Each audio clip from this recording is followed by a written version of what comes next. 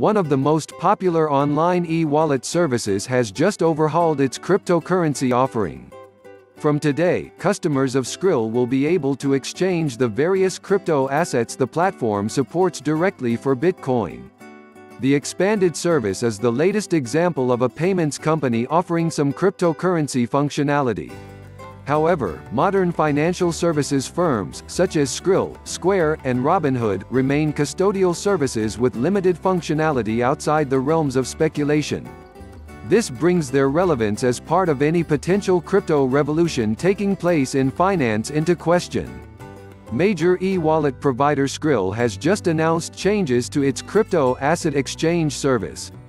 The company has allowed its users to buy and sell a range of digital currencies from directly within their existing account since last year. However, before now, each exchange between supported assets would require converting back a fiat currency before taking on exposure to the new digital currency.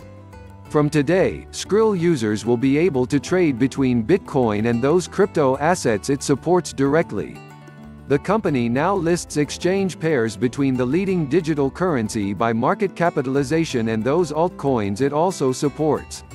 These are Bitcoin Cash, BCH, Ether, ETH, EOS, Ethereum Classic, ETC., Litecoin, LTC, Lumens, XLM, XRP, and 0x.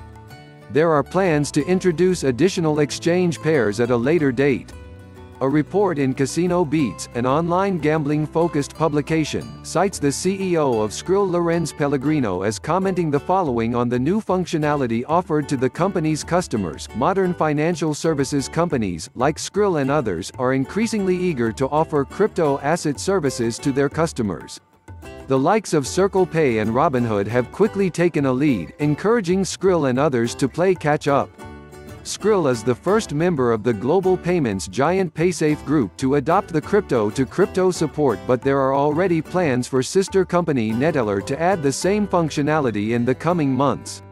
However, Skrill, like other e-wallet services offering cryptocurrency support do not exactly complement the permissionless nature of Bitcoin and other crypto assets.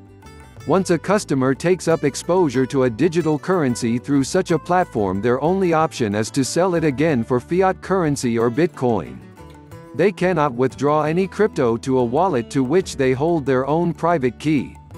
This severely limits the utility of the digital assets they are holding through the platform in question.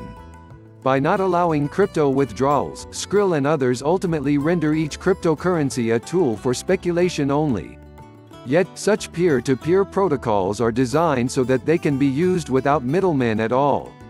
It feels a lot like those firms racing to offer some form of crypto exposure completely forgot this part of the program. Related reading, Erie Bitcoin Fractal suggests bottom in at $6.6 thousand, surge to $8,000 likely.